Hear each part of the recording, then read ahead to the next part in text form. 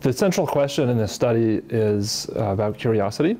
So we are interested in what makes us as a species so curious. Why do we want information about the world so badly that we're willing to pay money or resources in order just to get extra information? Curiosity, it turns out, is something that we know almost nothing about. This is a branch of psychology that didn't really even exist 10 years ago, and it's really just in its very early stages. Do we want to separate? Somewhere around, yeah, we don't no. want 14.0. Okay. So we're going to look at brain activity in monkeys making decisions. Monkeys are being a model for humans in this study. While the monkeys are making these decisions, we're going to see what's happening, especially in the reward circuitry of their brains. And this study is focused on one of those areas called the orbitofrontal cortex, which we think is a very early stage on this hierarchy.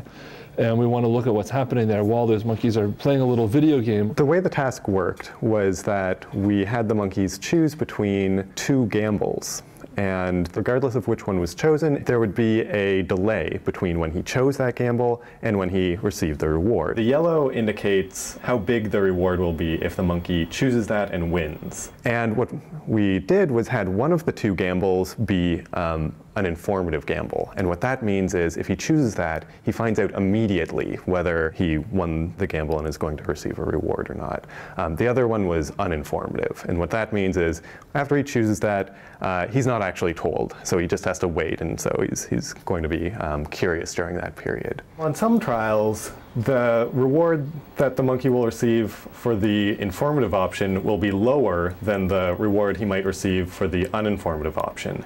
So on a trial like this, the monkey has to make a trade-off between receiving that information and receiving the larger reward. Monkeys strongly preferred the informative gamble. They'd choose it around 80 to 90% of the time. One of the new discoveries that we've made, uh, and, and um, in doing this study, along with our colleague Ethan Bromberg Martin at Columbia University, is that monkeys are curious in a lot of the same ways that humans are curious.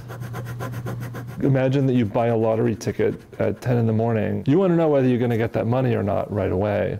And you might even be willing to pay an extra 50 cents just to get that information sooner. Or you might prefer the scratch off lottery ticket that's going to give you a more immediate gratification. You're not going to get the money any sooner, potentially. You're just going to get that information sooner. And that's the logic of the task that we designed for these monkeys.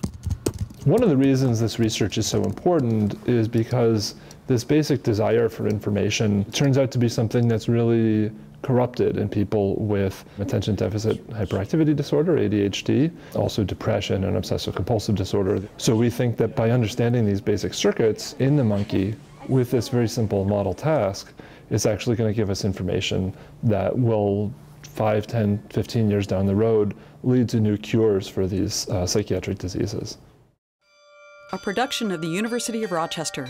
Please visit us online and subscribe to our channel for more videos.